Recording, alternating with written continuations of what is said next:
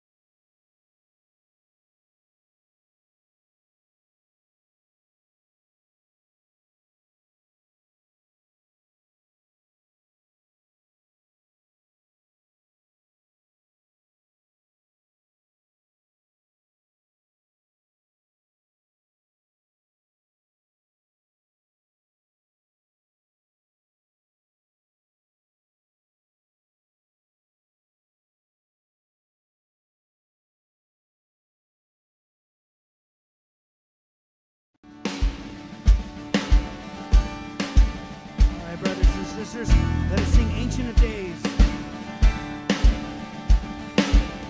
There's coming a day when every knee will bow and every tongue will confess that Jesus Christ is Lord to the glory of the Father. Everyone will bow. That day is coming. There will no one be exalted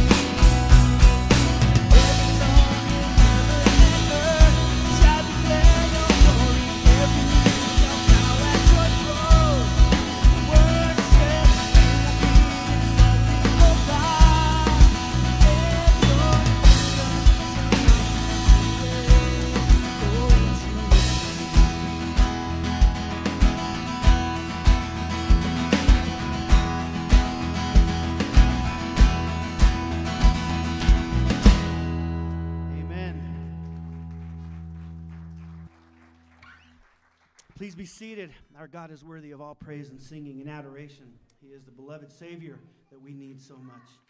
I can't wait to experience that day when every being, every being that has intelligence, all angels, all principalities, demons, unbelievers, and believers, will just fall before the Lord and confess that Jesus is our Lord. Jesus is God. We look forward to that day. We're going to sing another song, but we'll be taking our offering this morning as we do that. So, ushers, if you will please help out with that. Um, they'll pass the baskets around. And if you prefer to give online, you can do so. But just know that um, when you give at Sovereign Way, you are giving not so that we can build monuments to ourselves or our own church, but we are building a monument to Christ, meaning we are trying to build a kingdom. We are trying to call more sinners to repentance and faith in Christ. And so we want to support those who train um, us to be gospel witness uh, witnesses in this world, but also we want to support missionaries. Uh, we want to help start other churches. Those are the kinds of things that we can expect our giving to go to. Of course, we do help the needy as well too. We want to show the love of God, um, not just spread the gospel. We want to demonstrate that God is a giving God, and He gave His Son to us that we might be saved. And so, uh, the, one of the ways that we do that is through our helping of those who are in need. So, please uh, give as God has blessed you. Give joyfully, cheerfully, as we sing "How Great Thou Art." I know this is uh, a very popular hymn. It's uh, less than 100 years old, I believe, but still um, one that most of us know. And uh, the last verse says, When Christ shall come with shouts of acclamation, there will be an announcement that heralds Christ in. And all these songs that we are singing this morning are you're going to see how they tie into our sermon this morning as we look at Joel chapter 2. But for now, let's sing how great thou art and just know that Christ is coming again. There will be a trumpet announcement as our King comes into this world. How great thou art.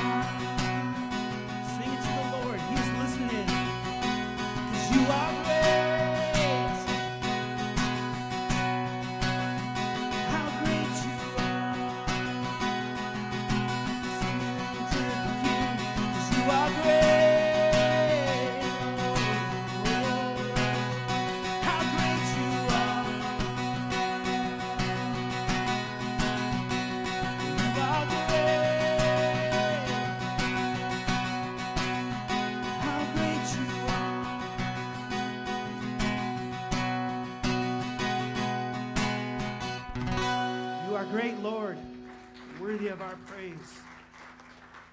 Amen. Come, Lord Jesus.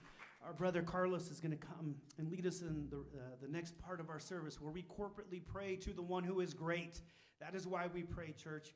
We cannot do anything apart from the sustaining life that God gives us and the empowering of the Holy Spirit. And for those of you that made it to our prayer meeting this morning, thank you so much for praying for us already. We are glad that God is here with us. Amen. Good morning. How you feeling?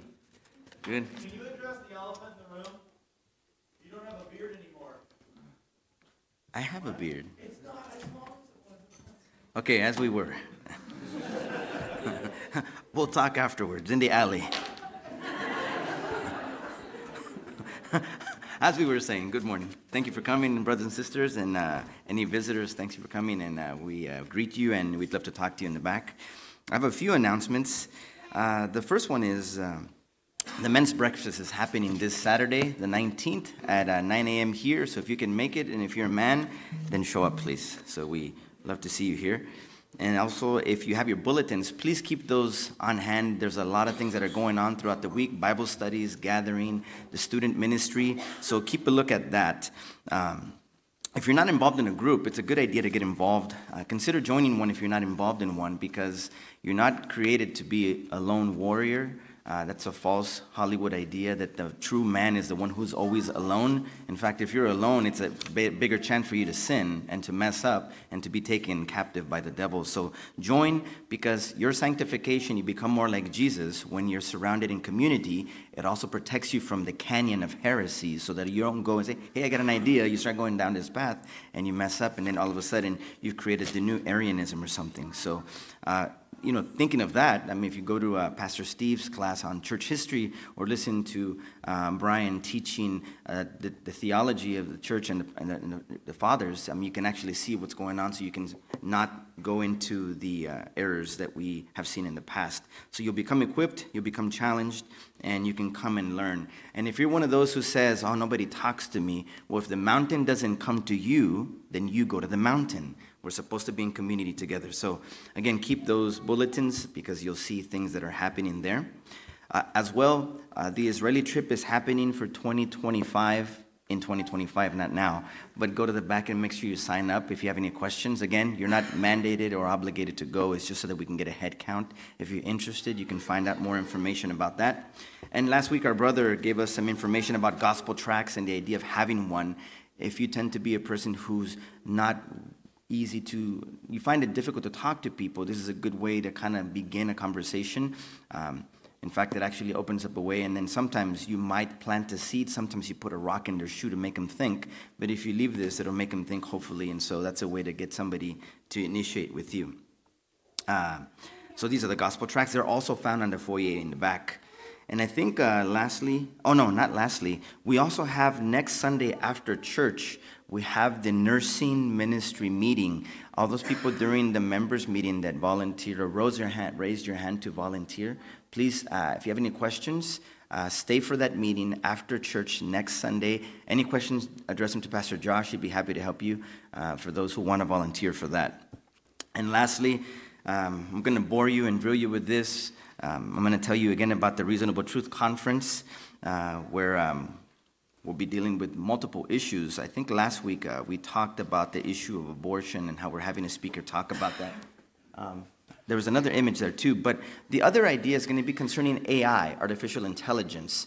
And so the question is what is the Christian response to artificial intelligence? Should we be afraid? Is this going to be the Terminator? Is it going to cause uh, non sentient issues, things, computers to gain consciousness and take over the world and basically bring in the apocalypse? That's one way to look at it. There's extreme ways of doing this, but should we be apprehensive about this? Should we be appreciative of the technology and use it for the glory of God? And then how can we really respond to what's coming our way? As well as gene editing. Have you guys heard of CRISPR technology? So it's the idea of editing systems. We all, viruses have this capacity. We're doing it now, and it's not FDA approved, but it's a way to potentially try to get rid of cancer and certain type of diseases. Go to the genome and cut it and splice it. Essentially, your body can do that. Nature does that, but can you do it? So should we be involved in this kind of technology, and what are the ramifications? You can have um, order your own babies and order them if they're Mexican and have blue eyes like me. They don't normally come out like that, but you can actually do stuff like that. But what are the ramifications of that when you start playing God? And so those are some things that we're going to talk about. I won't go too much more into that, but again, uh, if you can sign up for that, we have uh, flyers in the back. If you have any questions, I'd be happy to uh, answer them. It's a theology apologetics conference to help you engage your culture for Christ. And so, yes. Yeah, and if you need it, the QR code is there. It's also in the flyer in the back, and then I have one on my phone too. And so now we're going to move on to our tradition, kind of our um, custom that we have here at uh, Sunrise. Sunrise. Oh my goodness, I'm tripping like a villain on penicillin today. I, saw, I was looking at Linda and I started thinking, Sovereign Way. Man, I'm out. I'm out. Tom, where's Thomas? I'm disqualified. okay, so our unreached people group, let the sun rise on us. the Lord, thank you for that. Okay, so the people group we're going to be dealing with today is the, they call them the Sikh Walkimi. It starts with a V, but they pronounce it W. The Sikh Walkimi in India, their total population is 291,000. This particular group is interesting because I know some Sikhs. Uh, if you steal from them, they hit you with a paddle, so don't do that stealing is wrong. But I talked to one of my friends who's a doctor and I asked him about this. And, and so not all Sikhs are Walkimi. Walkimi is a particularly interesting breed. That's why there's 20, uh, 291,000. They're a particular caste of Hinduism. But what they did is they actually absorbed Sikhism into their belief system. So Sikhism generally is monotheistic. You hear about Judaism, Christianity, Islam being the monotheistic faiths. Well, Sikhism tends to have some monotheistic notions too, but when you mix the Walkimi caste with the Sikhism, you have a syncretism or a merging of these ideas. So they adopted it. So they're not purely Sikhs in that sense. So some of them believe in one God, some of them believe in a plurality of gods. But they also believe in reincarnation. And so that explains that they were originated from Hinduism. That they did emerge out of Hinduism during the time of the European Protestant Reformations. And then during the Indian Re- Re- Rebellion in 1857, they were prominently freedom fighters, so they were enlisted to fight. Um, their founder said this, which I thought was interesting. He said, Truth is the highest virtue, but higher still is living truth, or truthful living. Truth is the highest virtue, but higher still is truthful living. So it's interesting that many ideologies have pieces of the truth, but it's still lacking and missing. And so let us begin our prayer for these people and then for the, for the rest of the passage, uh, the sermon. Um, but let's consider John chapter 14, verses 4 through 6 to hear what Jesus talks about truth and how we can use that as a springboard for praying for these people and then for anybody who's lost. John 14, verse 4 says, And you know the way to where I'm going. Thomas said to him, Lord, we do not know where you're going. How can we know the way? Jesus said to him, I am the way and the truth and the life.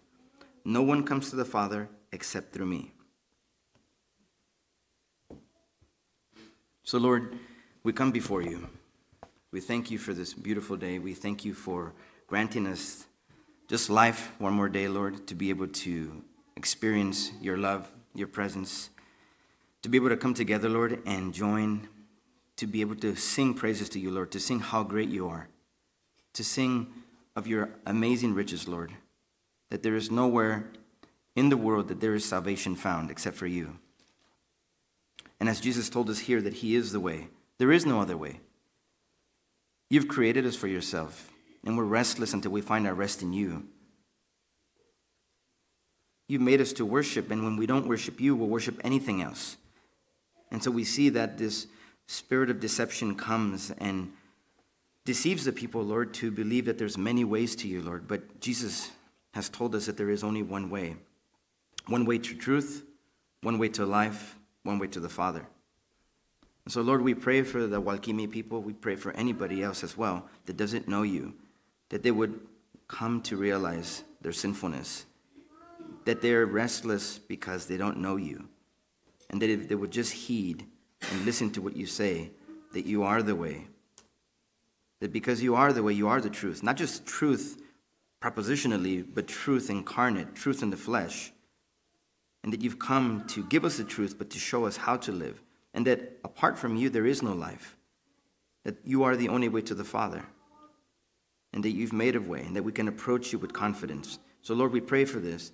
We pray that you would send people, Lord, to the Walkimi. We pray that your Holy Spirit would open their eyes, would change their hearts. The Spirit being the giver of life, that it would give them life, that they would come to you, Lord, to know the true God, the only God, above all else. We also pray for Pastor Josh, Lord.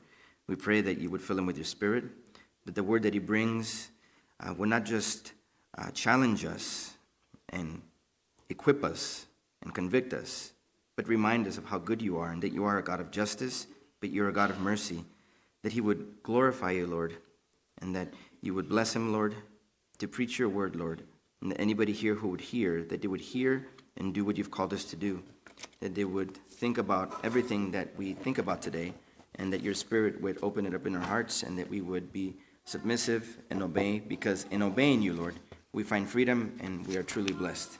We ask this in Jesus' name. Amen. Thank you, brother. Good morning once again, church. If you would take your Bibles and open them to the minor prophecy of Joel, chapter 2. We're going to look at verses 1 through 11 this morning. Joel chapter 2, verses 1 through 11. And once you found your place in Scripture, please stand to your feet as we read God's word this morning. Joel chapter 2, verses 1 through 11. The Lord says this through the prophet Joel Blow the ram's horn in Zion, sound the alarm on my holy mountain. Let all the residents of the land tremble, for the day of the Lord is coming.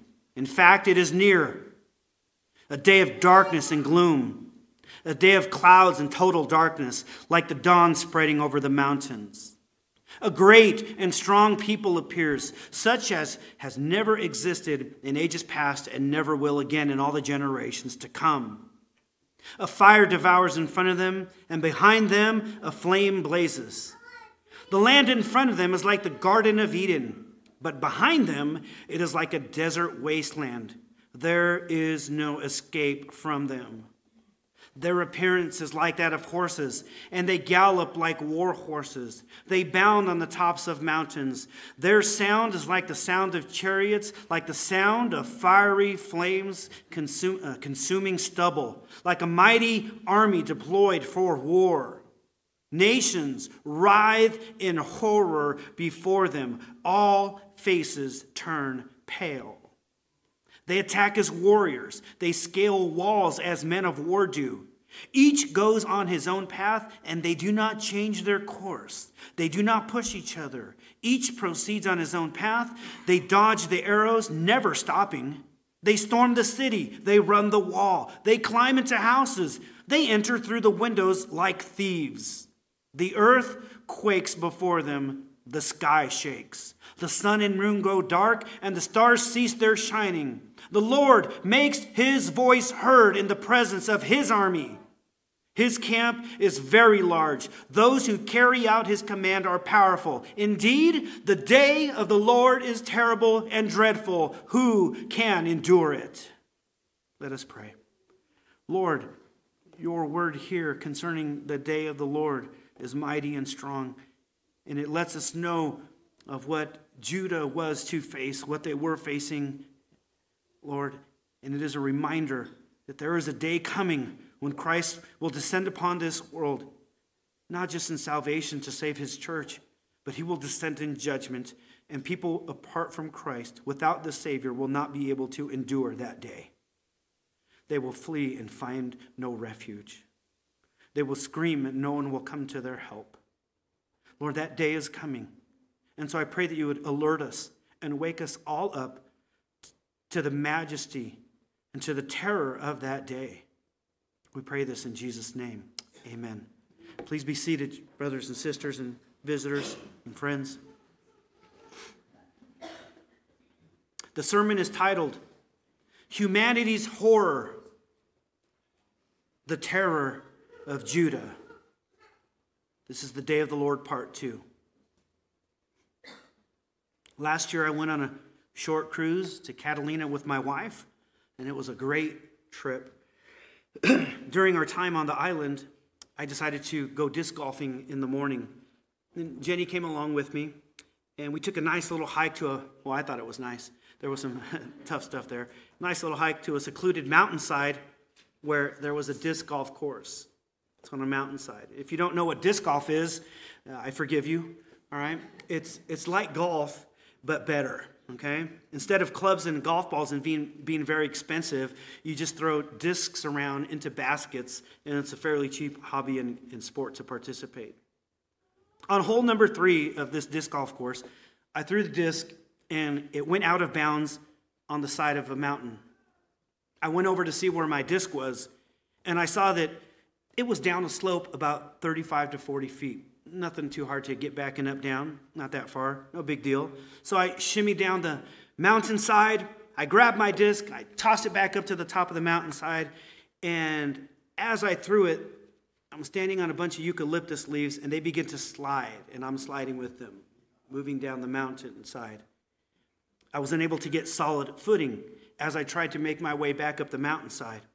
I tried as best as I could, and I found myself sliding foot by foot more and more down the hill. And my heart began to race because the hillside dropped off. It was like a straight drop off after about another 100 feet. And so I knew if I started to slide and momentum gained, I knew I would not be able to stop. And just another 30 feet from where I was was a cactus patch, of all things.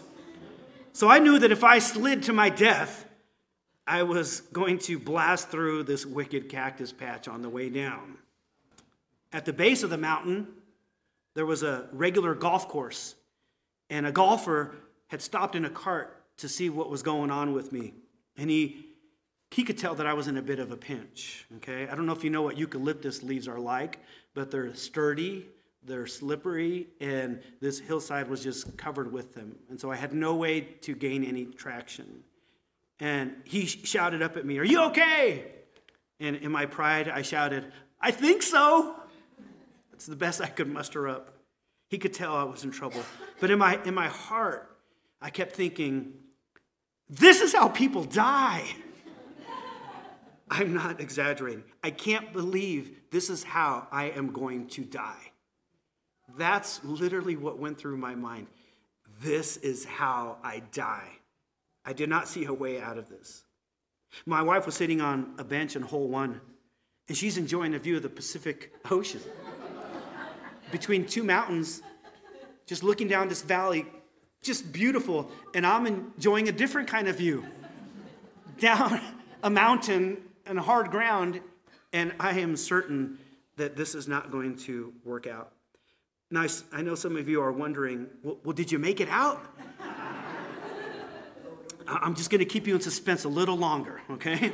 I'll, I'll, tell you what happened, okay? Now, briefly, I prayed, God, please get me out of this. That was all I said. And then I got really calm. I began to analyze the situation. I had nothing to grab onto. And as I was sliding further down the hill with each movement, I just decided not to move and get my center of gravity low and just spread out the weight, okay? Um, and uh, I moved some leaves around with my hand, and there was a tree root there, and I couldn't grab onto it because it was almost all the way buried except for the top part that was exposed. And so I, my heart's panicking, and I'm like, just don't move fast, just calm down. And I start to scrape away dirt from the root and just pull the dirt away until th- there's enough dirt away that I can secure my hand onto that root. And then a little fear went away. I'm not out of it yet, but I just know if my feet slide, I at least have something to hold on to for the time being. And it'll procrastinate my death another 15 seconds because I, I don't think I can carry my own weight. But I'm holding on to it, and then I take one foot and I try to push leaves out of the way so that I can be standing on dirt and not leaves. And I got a foot secure. And then I did the thing, same thing with the other foot, pushing leaves away. I got three points of nice solid contact. I'm not sliding anymore. Then I take my hand, I move leaves around. There's another root, do the same thing. Okay, now I got four solid points. Now I'm going to bring a foot up, move leaves around, get on solid ground. I'm, I'm hanging on to three points at all time. If you know how to climb uh, telephone poles, which I don't, but uh, I know that you're supposed to keep three points of contact at all time for safety. And I just use that strategy. Get all four points secure, then move one. Then get that point secure, then move another one. And always have three points of contact. And I finally shimmied my way up the mountain exhausted. I had cramps in my legs the next day from trying to rescue my own life. At that point, I looked back down at the guy and I said, Thank you. And I waved him on, and he probably thought, What an idiot for a disc. Right? I had no idea that that was going to happen. I found my wife and I told her that I almost died. And she said, Josh Ritchie. That's what she t- that's what she told me. Not, I'm so glad you're alive. All right. I knew I was in trouble with her too after just having a horrible moment of terror. I kid you not, I thought I was going to die. That, that was a, it was a freaky uh, experience. In looking at the minor prophecy of Joel, we see a moment of terror, a moment of horror upon Judah, as it is right, as it's right around the corner for them. Death is upon them. I'm going to recap what we've been talking about in Joel chapter 1 so that you can see what today's passage has to do with what we're talking about. What's going on in Joel? Joel is calling Judah to wake up, to wake up from their spiritual slumber. Devastation like no other has come upon their land in the form of a locust invasion. They should be weeping and wailing because they have no grain, they have no grapes, their food, their food source has been depleted, and they need to consider the reason for this devastation upon their land. Because it wasn't just their food source that was affected. Yes, that was that. But they could not take that food and offer it to God in the worship rituals that God required of them. Their thank offerings. They were to give grain offerings out of appreciation to God for what He has done for them, and drink offerings or libations to God in His temple as they brought them before the priests. And if they were, if they were not torpid, if they were not spiritually slumbering, and rather if they were paying attention and alert, they would recognize that God had brought devastation upon the land as an act of judgment. It was God who stopped their offerings, it was God who stopped their food because they had broken covenant with God. So they could bring no thank offerings to God because God took away their blessing, He took away their joy. Why? What did they do that was wrong? We don't know. But we do know that according to the Mosaic covenant, that whenever they were unfaithful to God, that He would cause this land of rich blessing to be a land of total devastation. That's what God would do. Just like when God cursed the land when Adam and Eve sinned and kicked them out of the garden, so too at times God would curse the promised land and kick them out, reminding them that you cannot be with God if you are in sinful relationship with Him. And so we can be certain that Judah broke co- covenant or contract with God in some way. Again, that covenant being the Mosaic or the Sinaitic covenant, which God gave at Mount Sinai, if you remember, God gave it to them after God used Moses to free them, free the Israelites from slavery from Pharaoh and the Egyptians. And they're out in the wilderness, and that's where God gives this contract, this covenant. Okay? And so, in light of all the devastation, every citizen from old to young, from prophet to priest to people, they were all to cry out to the Lord as they assembled at the temple of God. And they were to plead for mercy and grace. They were to come to God in repentance and cry out for restorative favor. That was Joel 1 through 4, uh, 1 through 14. Last week we looked at verses 15 through 20, and we began to see that this whole book is really centered around the day of the Lord, a day of visitation from God and judgment. Okay? And so uh, we looked at the central theme of the book. We began to see that Joel warns about a near danger that is coming, a certain danger, a devastating day from God. But right, what's interesting is right after he says this day is coming, he begins to refer to past events, things that have already happened. And so, what is up with that? Why? The reason being that he talks about the day of the Lord that's coming and then automatically starts talking about the past is because they're actually already in the middle of this day and its events. All their food sources have been ravished by locusts. The storehouses and the granaries where they normally store food, they're empty and broken down. The animals are moaning and groaning in hunger. There is no pasture.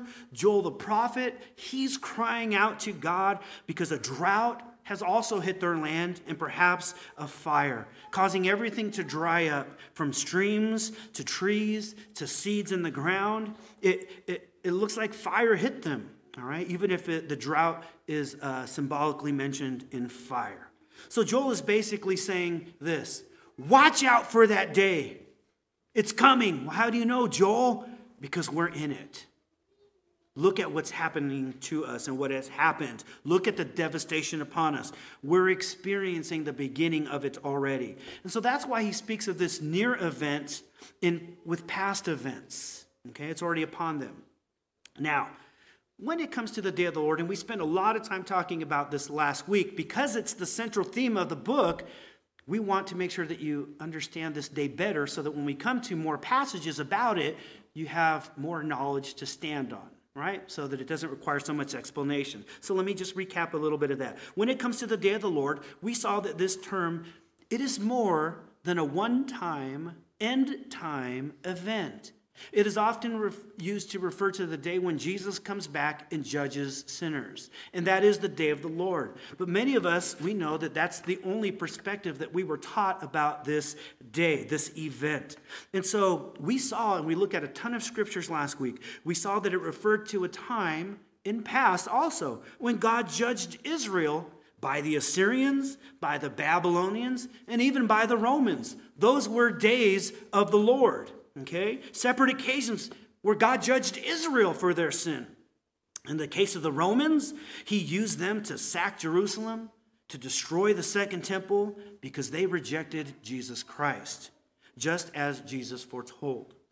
But we also saw that the day of the Lord wasn't just about punishment for Israel. We saw that the day of the Lord was also a day where God would oftentimes rescue Israel and he would punish Israel's enemies for their sins against them. He did this to Egypt, and he did this to Edom. We saw that the day of the Lord also, in another sense, referred to when Christ would come and visit the second temple. All right, he would come and bring salvation and judgment to Israel. And then we looked again and we saw that there is a final day when Christ will come again. He will restore creation, he will save the church, he will judge the world, and so we gave a helpful definition to help understand this day, and we'll put it up on the screen right now. And we saw that the day of the Lord is a recurring event that has its final fulfillment in the return of Jesus Christ as he exalts himself, restores creation, finalizes our salvation, and judges unbelievers. Does that help you understand this? It's an event rather than just a, a one time day. Okay? The day of the Lord is a recurring event that has its final fulfillment in the return of Jesus Christ as he exalts himself by restoring creation, finalizing our salvation, and judging unbelievers. And so we look at all these scriptures to help understand this definition and derive our, our definition from these scriptures. Okay? Again, to give us a proper understanding of this doctrine, again, too many people only view it as an end time thing where God judges the wicked, but we see that it's not just a one time end time event. It is a multiple fulfillment. It is a joyful day for some because salvation will come. It is a time of rest, a time of blessing. That is what this day brings. But for others, it will be a horrific day. So this day involves not just restoration and salvation, but destruction and judgment, both. And that's why we gave that definition, okay? And then we also took just a little bit of time to show you how the day of the Lord, and this was really exciting for me. I don't know if it was for you, but it was for me to see how the day of the Lord was foreshadowed or typified in the Sabbath day and even in the promised land. And it even has its seed origins in the book of Genesis, this day. And, and we walked you a little bit through Hebrews to help you see how the author of Hebrews connects the Sabbath day, the Sabbath land, and the Sabbath eternity, or that day. Okay? If you didn't hear last week's sermon, well, I know that there's no internet going on right now in the high desert. Um, at least there wasn't a little while ago, but you can go back and listen to that a little while later. But hopefully, this helped correct a lopsided understanding of what this day is about. Now, with this previous sermon of the day of the Lord in the past, we now have a better grasp of how that day is. We have a better understanding of it, and now we can look at Joel a little bit better. And so we should be asking questions. When Joel talks about this day, is it referring to past, present, or future events to come, or even the final one? We should be kind of trying to tear this apart and piece it together. Now, the central point of today's passage it's not that just Judah should be concerned, but the nations or unbelievers should be terrified of the coming day of the Lord, not just Judah. In verses 1 through 11 of chapter 2, the passage that we read this morning, we have a literary structure called a chiasm. For those that don't know, a chiasm is a form of writing, it's a form of structure where the first statement is parallel to the last statement, and then the second statement is parallel to the second to the last statement. And the third statement is parallel to the third from the last statement until you arrive at a central point. And the, the author is trying to ascend into a high point and descend in order to draw attention to this focal point this morning. And so I want you to look at the diagram on the screen. If it's not already up there, it should be at this point. Um, you will see that A matches double A and B matches double B, C matches double C, D and double D, and then to the high point of E. And so in this passage, you ascend to a central focal point and then you descend in a reverse pattern. That's what we have here today. And so uh, while I was studying this, this text, I had a little bit of free time on my hands this week at work, and I was looking at the passage. I saw what I thought were indicators of what could be a chiasm. And so I just took the scripture by itself and I printed it out twice on a, on a piece of paper and I took it to two guys at my work, and both of them are members here at church. I took it to John, who's running slides, and I took it to Caden, who likes to interrupt our worship service. all right? He'll never do that again, I promise, right? Right? Yes, all right, all right, right on. All right. So I'm just playing. I love him like a, a son. He's getting a whooping when he gets home. All right. So anyway, I gave him both this. I gave him both a blank paper with the scripture on it, and I said, "Hey guys, uh, tell me if you see a chiasm in there. I said, Do you know what that is? And they're like, Duh. And I was like, Sorry, excuse me, Mr. Theologian's over here, right? So they knew what a chiastic structure was. And they came back and identified the same chiastic structure that I did. And so I knew it wasn't my imagination. And so we didn't have any scholars or fancy uh, theological books to inform us. It was just this beautiful little Easter egg, this beautiful little treasure, this beautiful little gem that we found tucked away in this uh, 11 verses. And so the high point, the central point, the focal point is that we must fear the day of the Lord. And I'll show you how this is laid out in chiastic form because, again, we're dealing with poetry here. The first point we see, number one, which parallels with verse 11, we see a day of declaration. A day of declaration. In regards to this chiastic structure, we see that verse 11, uh, 1 and verse 11 coincide. This is a day of declaration, a day of announcement. We see two different announcements, two different sorts regarding this day of the Lord. One is in verse 1 and the other is in verse 11. In verse 1, we see that a ram's horn is to be sounded. A trumpet blast is to announce that danger is coming to who? If you read the text, it's to Judah. Okay? This horn was to be blown in Zion, which is another name for Jerusalem. All right? That's the capital city of Judah. And this horn signals that war is coming, an invasion is coming. It serves to alert the citizens that the town is in danger, something is coming. In Springfield, Missouri, where I went to college, I don't advise living in Springfield, Missouri, but that's where I went to college. We had tornado warnings and sirens that would alert the town that danger was coming. When we heard these, we knew that it was time to get below ground in a basement. It is an ominous sound. I, I, I thought another country was invading us the first time I heard it. I'm like, how did they get that far? We're in the middle of the country. What is that? Uh, tornadoes coming. Unless you want to get stabbed with a piece of straw flying through the air, you better get down below. It was scary. You remember those, honey? David, I know you were there. Those are the worst noises ever, man. You're just expecting bombs to get dropped on you, right? You get if it is an ominous sound. That is what this horn sounding in Jerusalem is meant to do. Strike fear into you. Strike terror into you. That is a ram's horn. It alerts of what is to come. And so, just remember last week, Joel talked about the day of the Lord, and then he referred to the past. Now, when Joel talks about the day of the Lord, he uses cues and hints that lets us know now he's talking about the future. He's not referring to past stuff, but what is to come. Danger is coming, hasn't happened yet. So, we see this language shift.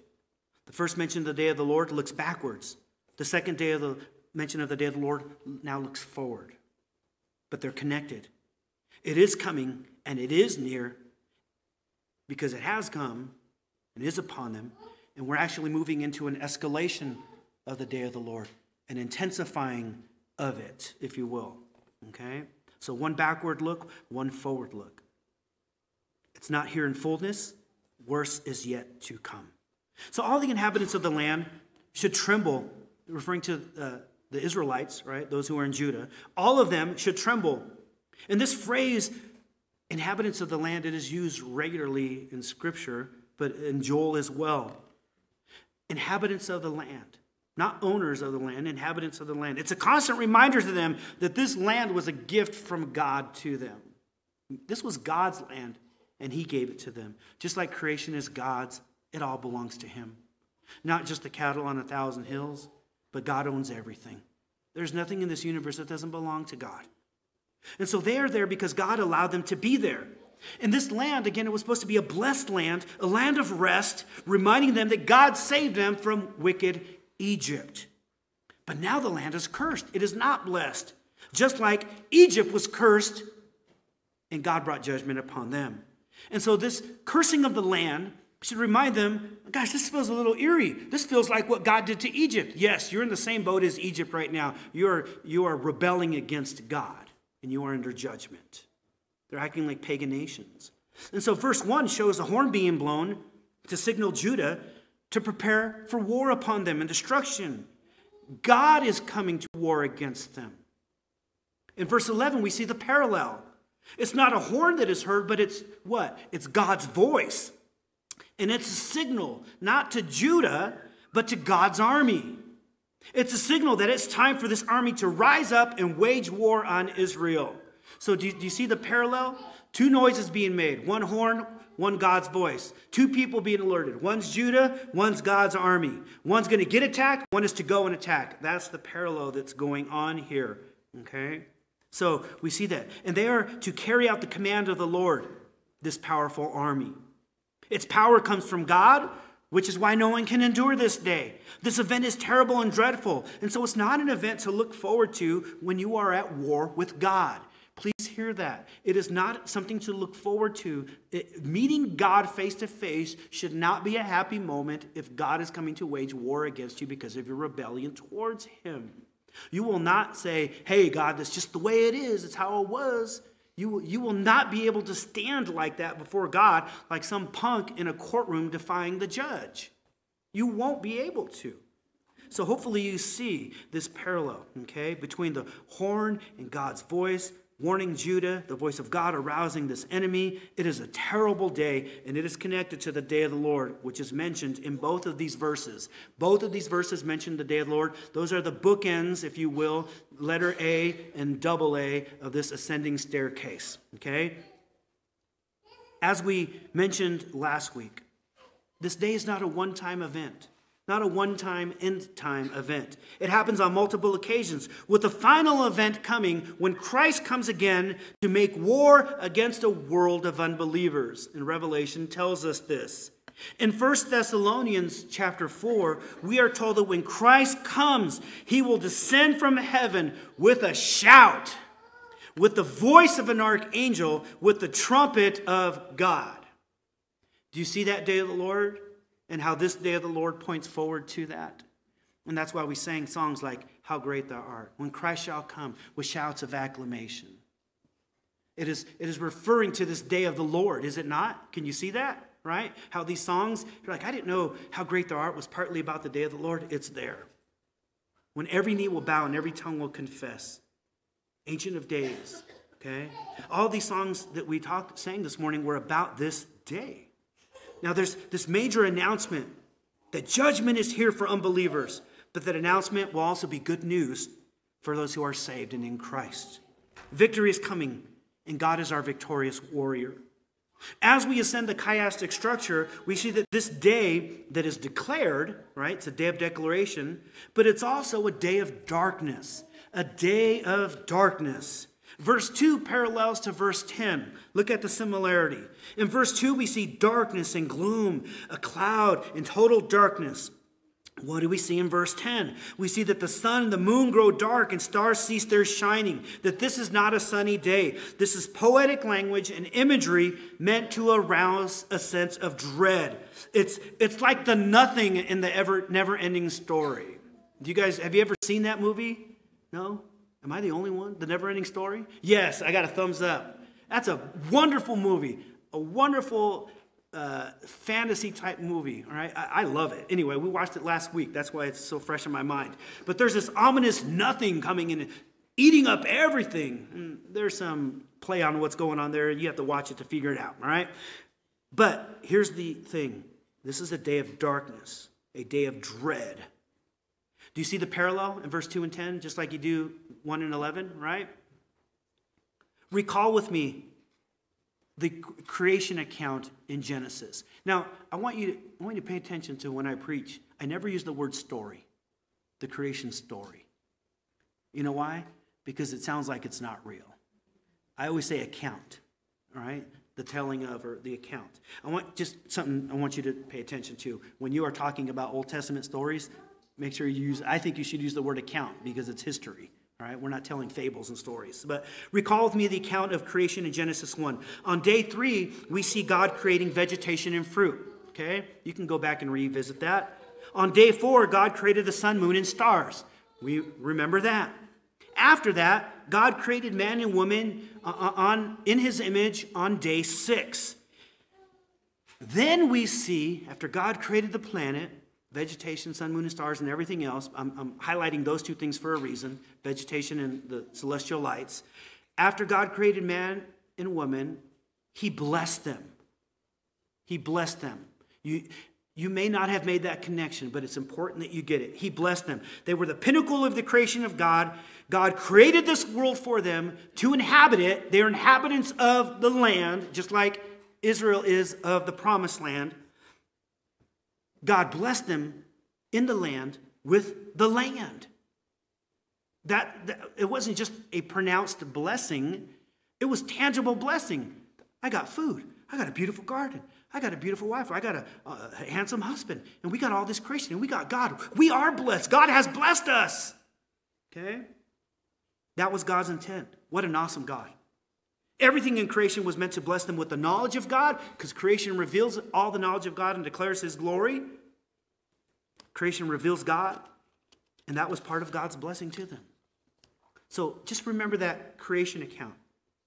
When we now hear the language of Joel, of darkness and gloom, clouds, total darkness, the sky shaking, the sun and the moon grow, and the stars ceasing to shine what is being removed?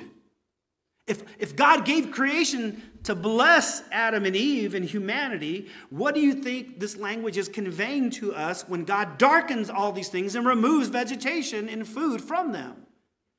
It's showing us through creative language that God's curse is upon them.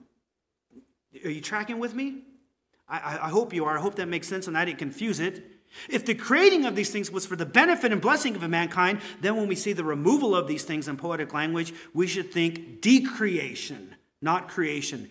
Destruction, not creation. Curses, not blessing. This is decreation language, the opposite of Genesis language. Again, Adam, Adam was a son of God, placed in a garden. Israel is a new son of God, and he's placed in Israel is in this promised land, which was meant to be like a new Eden for Israel. And just like God curses the land and the garden after Adam and Eve sinned, so God curses the promised land when Israel turns away from God. We have a, just a, a repeat of a story just happening over and over and over again. Okay? It's meant to tell us our folly and show us our need for a Savior. Now, as a reminder, Jesus not just Adam was a son of God, not just Israel, but we have the perfect Son of God, Jesus, who leads us into a new garden, a new creation, the eternal land of rest, okay, where we are blessed forevermore. Indeed, this is what God was doing by destroying their harvest and vegetation, showing curses upon them. He's removing blessing, bringing on his curses, decreating. Now, as you read the text, you see that God's powerful army is mentioned this great and strong people that appear. Some people think that it refers to a further infestation of locusts, okay? And you can go back and track the language from chapter 1 to see that. Some people believe that this refers to an actual army, like the Assyrians or the Babylonians. For now, let's just remember that the end result is the same, regardless of which view you take, okay? God's destruction is coming. This invasion is coming, it says, like dawn spreading over the mountains. Like dawn spreading over the mountains. Just get that imagery of when the sun is rising in the morning and light is spreading. Now, it's interesting because Joel just used a darkness metaphor, right? Darkness and the stars ceasing to shine and the sun and the moon and all that being blacked out, okay? Um, he's now using a light metaphor to indicate God's judgment, all right? A light metaphor. He just goes from darkness to light. Now, Joel's not schizophrenic, okay? He's not trying to say that these things are uh, darkness and light are the same thing. But what he's saying is that he's using different images to convey the same thing. So, what happens when dawn arises? The sun slowly spreads out. You see its first rays, and then what was dark becomes light. And as the sun rises more, it just begins to spread and spread, right? That's what's going on. And that's how God, uh, through Joel, is describing this army, that it's coming. Right? He's, he's using the light metaphor to say it's coming. And you're going to be soon engulfed in the entire thing. Destruction is coming up across your whole land. That's what he's using the light metaphor. Okay? So we might put it like this The army is coming. And as the infantry continues to arrive, it will get worse and worse. In fact, all of Judah's past history and future history, all right, the scripture says the size of this army will be unmatched, which is how God refers to the locusts in chapter 1, which is why some people take that view. But some people, again, think it refers to uh, an invading actual army. All right? But this is why the earth and the skies shake, because of this judgment of God coming upon them. And if you're paying attention, if you're paying attention, the language of, of locusts the language of locusts is still governing this description of the day of the Lord. The language of locusts and how they interact is still governing this passage. Okay? Locusts, what do they do? When they arrive, they're innumerable. Okay? They are darkening the sky with their billions in number. Okay? And when they arrive, all right, they just seem like a small blip on the radar from afar, like the sun just creeping over the mountain. But as they approach, it gets darker and darker, more and more devastation. And so Joel is using the language of locusts to show curses, decreation, and judgment that is coming from God. And it could be another wave of locusts, because later talks about, uh, Joel talks about God would restore the years that the swarmer and the, and the locust took away from them. So it could be multiple waves, but it could be an Assyrian army or a Babylonian army.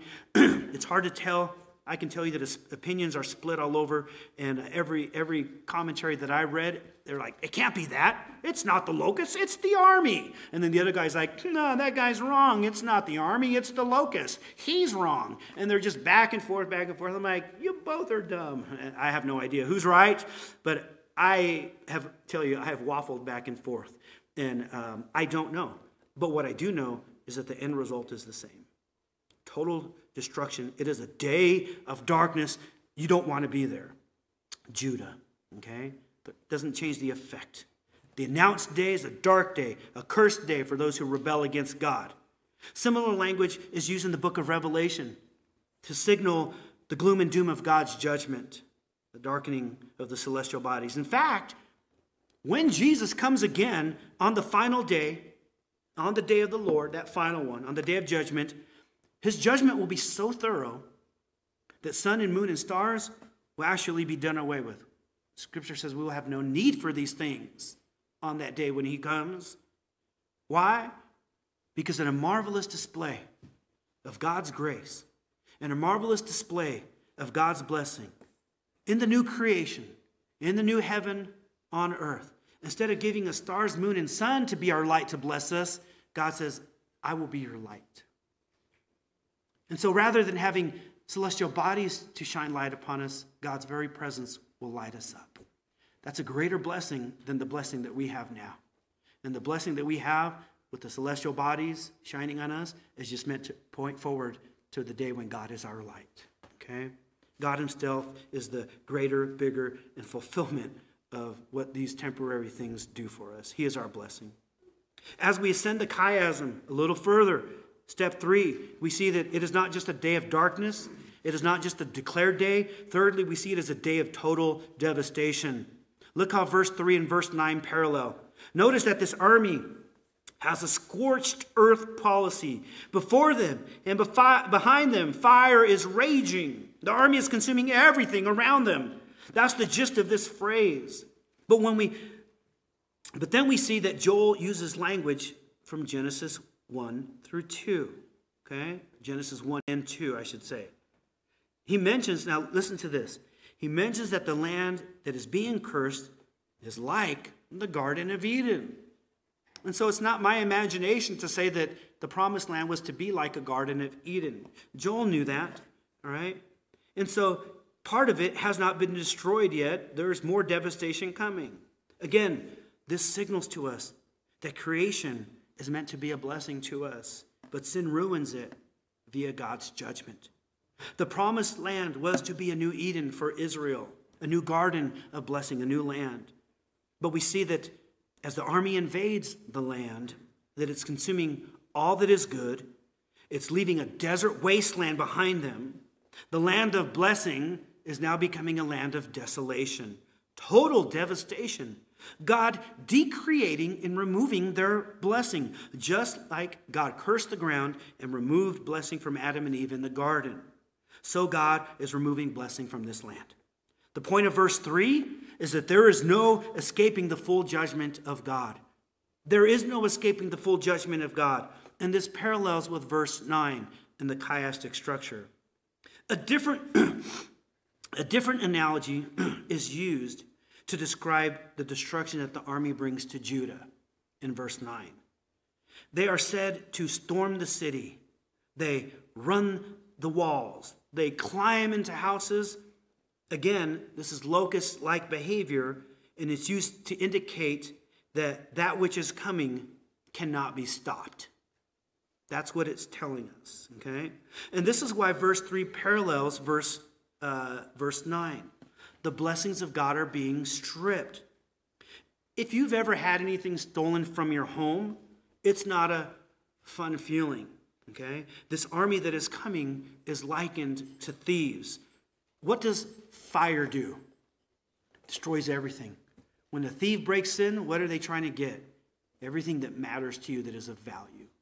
And so, verse 3 and verse 9 are using two different images destruction of fire, the thievery. In both cases, what matters and that you need most is gone. And you can't stop it. That, that's the point of these verses. And if you ever had your home broken in, you feel vulnerable, you feel taken advantage of, you can't get back what was taken from you. That's the imagery that fire and thievery are meant to portray. So never forget that the day of the Lord was, was real, but it points to a final day of the Lord. So let me just say that if you're not a believer in Christ, if you're not one that has called upon Christ to save you, if you don't trust him to save you from this day, it will be a day in which all good things, listen, please listen. That day will be a day in which all good things that God has ever allowed you to touch and to taste and to see and to hear and to smell and to enjoy, all of those will be stripped from you. God's blessings were meant to draw you near to Him and to cause you to flee to Him as one who loves you. And if you have turned your back on him and spited him and loved these things more than him and not served him and served these things rather than the one who gave them to you, they will be stripped away. They will not last forever. A day is coming when you will see God's fury face to face, and you will be stripped of all the goodness that he has sent your way. And you will not be able to escape the fullness of that day. That is what Joel chapter 2, verse 3 and verse 9 are trying to communicate to Judah and that's what it communicates to us on this final day. The prophet's warning of Judah to Judah should serve as a warning to us, his warnings. So do not let your heart be callous. If you are not a believer, do not harden your heart towards God. Heed his word. He's given it to humanity to help us know what is coming, to show us that Christ can save us from that day of destruction, and that that day of destruction can be a final day of blessing instead. Okay? We will, we will, you know, this boggles my mind. We will watch rescue movies all day where people are rescued from danger by a hero. But when presented with the ultimate rescuer story, and we are seen as those in danger, we are we spit on that message. We spit on it and despise it when we become the ones who need rescue and help. And God is the one who can rescue us. We will watch all kinds of movies that portray superheroes that rescue people. This story, sinners hate it. It just shows what the problem is. The problem is with God. The problem is with they don't want to see themselves as God tells them to see themselves. We are too hateful of God to see how good He is. And that is why God must change our heart. We can be so self deceived, blinded by Satan, that we can't see the good news for what it is. Right? Our nature is corrupt and we are torpid. We are not alert. We are unaware that danger is coming until God takes off the blinders and shows us what is coming. This is a day of gloom that will usher in an eternity of anguish for you if you are not a Christian. So flee to Christ, run to Him. It is total devastation. So, this declared day, this dark day, this devastating day, it is also a day of discord. Let's ascend a final, uh, uh, one more step before the final step a day of discord. It's important that we see this day not just as a bad event, not just as a natural disaster, as if destruction like this is happening to Judah because, well, now is just a bad time. It must be seen as a day of discord with God, a day of discord. This is a day that God comes to battle and bring judgment upon Judah. This is a day of discord. It's not just, it's not just the locust invasion or the drought. This is God stepping up and standing toe to toe with Judah and demolishing them where they are right now. These are this, whether it's an actual army and the locust in the first part or locust and locust, it's God doing this. This is the day of discord with God, a fight between two parties. Notice that the language of verses 4 and 5 matches the languages, uh, language of 7 and 8 in our parallel, uh, in our chiasm this morning. Verses 4 and 5 parallel verses 7 and 8. In verses 4 and 5, we're presented with images of war and weapons and war and warriors. This army looks like horses. This army gallops like horses. And this use of like is, is one reason why some people think that this is not an actual army, but a further invasion of locusts because uh, it's using the word like. Like, why would you say that an army is like an army unless it was an army? Okay? So this if the army is actually locusts, then it would make sense to say that the locusts are like horses and they gallop like horses, that they bound on mountaintops. They actually make noises like that of chariots, or there's noise in their buzzing and crackling noises like fire burning up things. I, have been told that that's what locusts sound like, at least through the reading of historical materials, okay? Um, they are my, like a mighty army sent off to war. Now, those that hold to a literal army view, I'm, I'm presenting just a little bit of information to show you why some, some people take this view, okay? Those who hold to a literal army view would say that, well, if you read Deuteronomy 28, you see that God's curses go from locusts then to army invasion, all right, as the curses escalate. And so there's argument on that side, okay? And so there's more to this debate, but again, this is imagery, this is poetry. It's meant to arouse your fear, arouse your uh, rouse you from slumber, to get you to see what God is doing in order to take action. And so the imagery is secondary to the truth that is being presented behind it, okay? The imagery does matter, but ultimately the truth is total devastation is coming from God. You better wake up, you better repent. And if you can get that, then you can then have these finer debates a little bit later and work it out yourself, all right? So the truth revealed is judgment is coming. Feel sorrow. Judah, feel shame. Be filled with dread. Then turn from your sin and be blessed. You don't have to be cursed, Judah.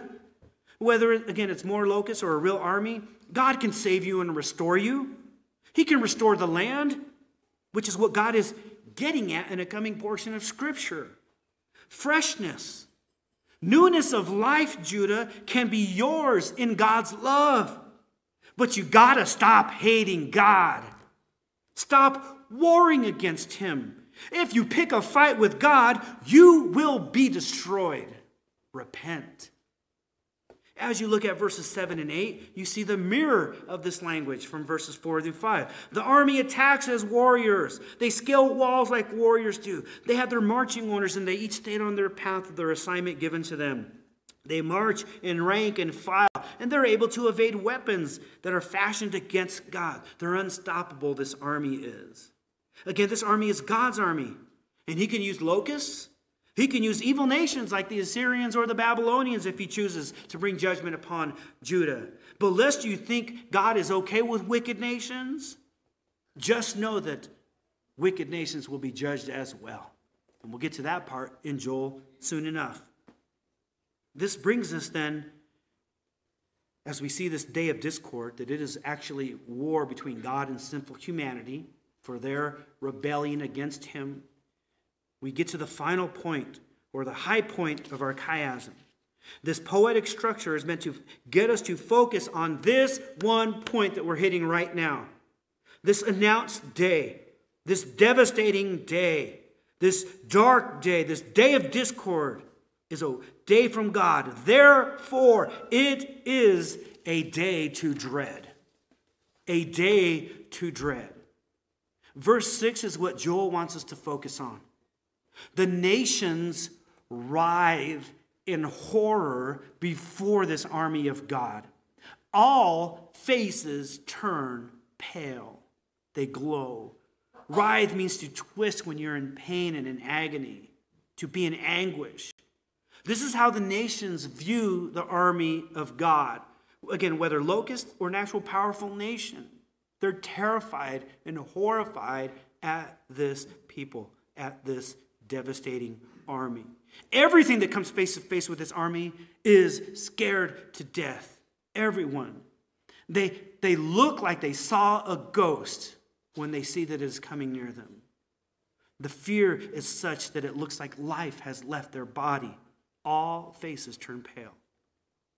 What do you think Judah's response should be, knowing that this is the focal point of Joel's message here in these verses. What should they do with this expanded knowledge of the day of the Lord and this invading army? They should be afraid. They should be horrified and terrified. They should wake up. They should repent. They should turn to God and seek salvation because they can't escape this dark day. And hopefully you can see how the text is ascending. The day is coming. It is dark. it is total devastation because it is war from God. You better be terrified. Do you see how that escalates? And then it descends in order to drive home that point. If you are not scared of this day and you are warring against God, then you don't understand how bad this day is. You are foolish. The prophet warns that we might find salvation, that we might find rescue. And again, these days, they point towards the final day. They're repeated days in history to let us know that judgment is coming. The first day, it happened when God told Adam and Eve, In the day that you eat, you will surely die. And they were judged that day. And then God, in his kindness, showed how the Sabbath, the Sabbath rest, could point to a day when we would have rest from our struggles and our labors in this world, pointing towards that final day of blessing, that day of the Lord. And then it just expands, and we see, oh my gosh, it happened in Noah's day. God brought judgment upon the world. And then Peter tells us, huh, Jesus is coming again. How do you remember that day when God judged the world by a flood? Well, the day of the Lord, it's going to be by fire, which lets us know that the flood was the day of the Lord. And we see it in Egypt when God delivered them. And then we see it in Israel over and over again. And then we see God judging uh, Judah. And then we see God judging the Syrians and the Babylonians. And it just, these days are pointing to the final one. Wake up, wake up, world. That's the whole point of what God is trying to do. Psalm 9 says, Rise up, Lord. Do not let mere humans prevail. Let the nations be judged in your presence. Put terror in them. Put terror in them, Lord. Let the nations know that they are only humans. That's what Psalm 9 tells us. Put terror in them. There's a day coming when the world will wish they had heeded the warning of God. In Joel, in Revelation, in the Gospels, in Genesis, all throughout Scripture, this warning is shown to us. If you are a Christian, I thank God and I praise God, and I know you do too, that God has alerted you to this day and shown you the reality of it so that you could flee to Christ, who was judged for you on the cross. And that is how we can be spared this day. That day is a day of judgment. So you must know that the day Christ died on the cross and God unleashed his fury on Jesus, he was suffering the wrath of the day of the Lord on that day. And so, in some measure, it can be said that Jesus suffered the day of the Lord, that sinners should suffer, but only those who trust in Christ. Only those who trust in Christ. Do You wonder why the stars grew dark and the sun ceased its shining on the, on the moment Jesus died? There was the day of the Lord happening so that we would not have to experience it, its judgment, but so that we could experience its blessing. And, church, for that reason, we should be fully devoted to Christ. You know, we're not one of those churches that does altar calls and has people come up here and pray with a counsel or anything. What we do is we admonish you and tell you right where you are, you get right with God. If, if, if you are not a Christian, you need to believe that Jesus died so that you would not have to die, that he rose so that you could have life everlasting, that blessing that the day of the Lord will bring. Because if not, you will be terrified and horrified on that day. And if you are a Christian who has believed that message, can, can I just, uh, I don't know what, what the right word is, can I just, uh, can I invite you or remind you of what kind of commitment you should have to this God who has saved you and removed that horror from you? If you've been slack in your walk with God, it's time to re up that commitment and say, hey, I, am not going to be slack in my love for the Lord. I have, no, I have nothing to fear because of him. He's removed that terror from me. I will be devoted to my God. Because that's what God is calling Judah to do, to live in faithfulness to him. And that's why they're getting judged, because they're not. So renew your love for God.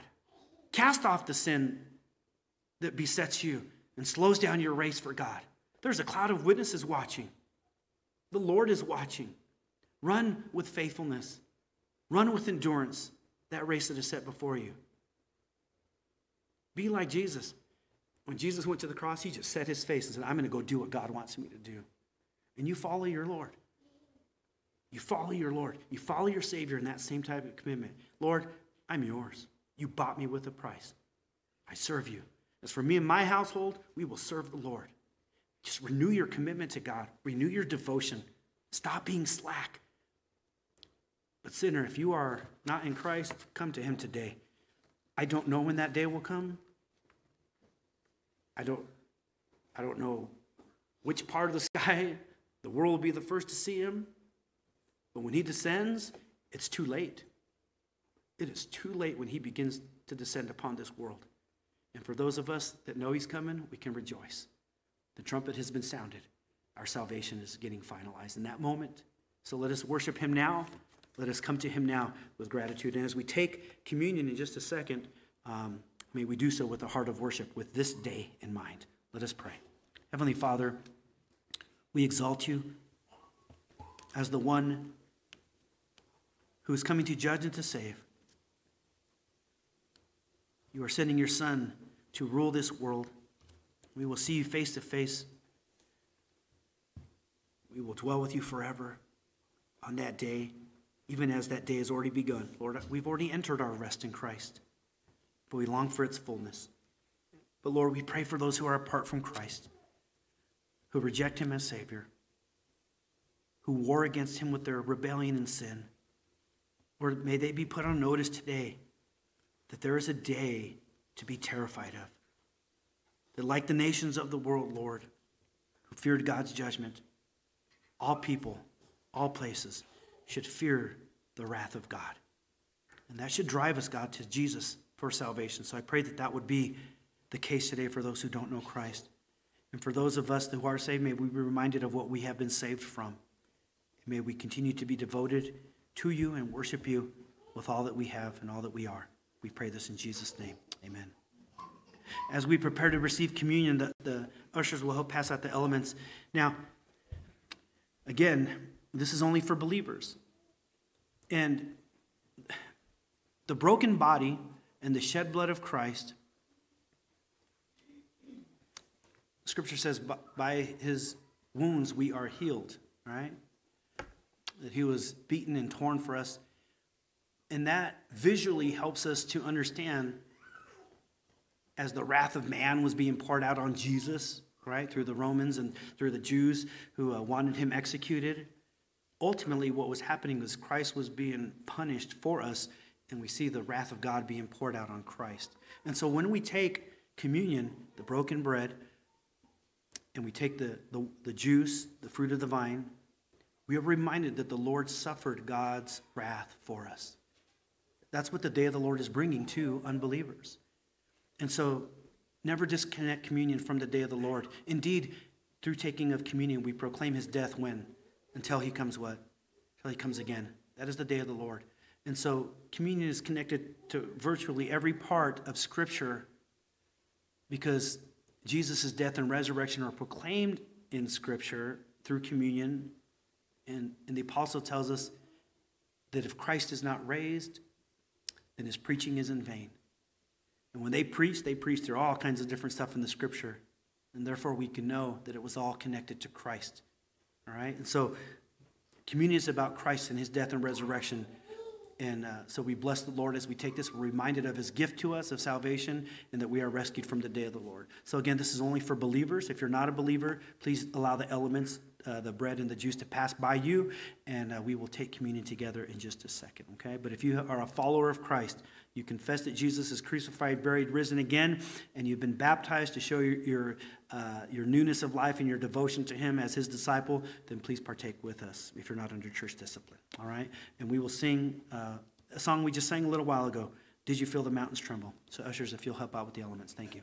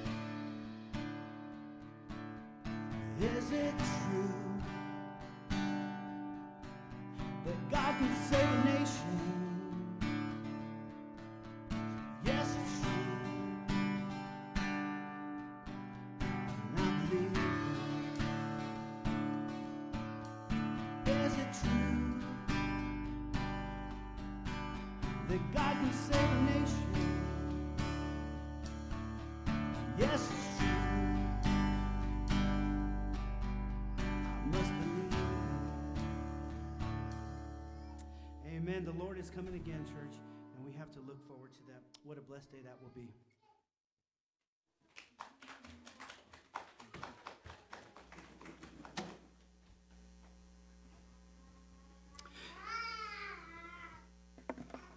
What a blessed thing we get to do every week as we take communion, that we are heralding the, the return of the Lord, the one who was crucified, buried, and risen again.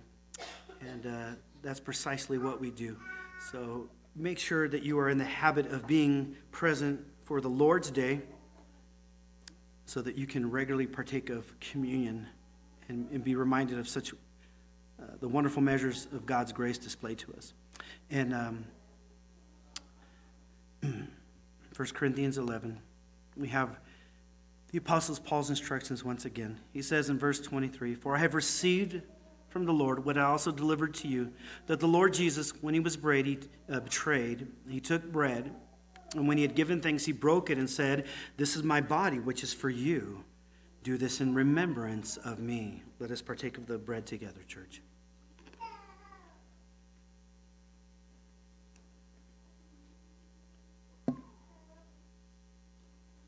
In the same way, he also took the cup after supper, saying, This cup is the new covenant in my blood.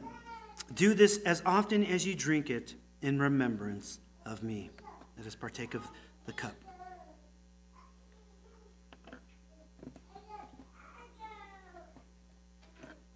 The gospel and picture. For as often as you eat this bread and you drink the cup, you proclaim the Lord's death until he comes again. For us, church, when he comes again, that will be a day of blessing. For those who aren't in Christ, who aren't privileged to partake of this gospel picture, they should fear that day. Brother Carlos, if you'll come and close us in our prayer and, uh, and benediction. Thank you, brother.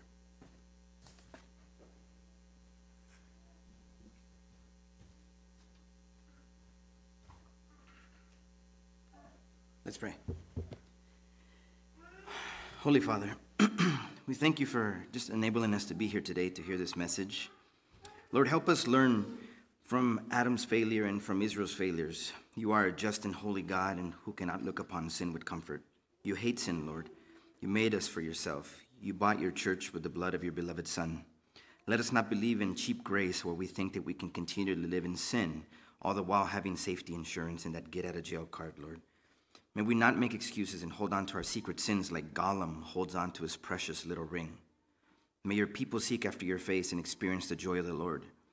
You judged Adam and sent him out of the garden. Israel went after idols, and you brought your rod against them via the Assyrians, the Babylonians, the Persians, the Romans. And you did not leave one stone left on another when you destroyed the temple. O Lord, you judge in righteousness, for the day of the Lord has come, is coming, and will come and you will judge our sins lest we repent. But you have told us that blessed are we when we obey and adore you alone, and blessed is the nation whose God is you, the Lord Almighty. May we take your gospel message to the nations. May we obey everything you've commanded us to do. And may all the nations come under your authority and do everything that you've commanded them to do. We ask this in the name of the Lord Jesus Christ. For our benediction, Hebrews chapter 13, verses 20 through 21. And it reads like this Now may the God of peace, who brought again from the dead our Lord Jesus Christ, the great shepherd, the sheep by the blood of the eternal covenant, equipped you with everything good that you may do his will, working in us that which is pleasing in his sight, through Jesus Christ, to whom be glory forever and ever. Amen. You may go in peace.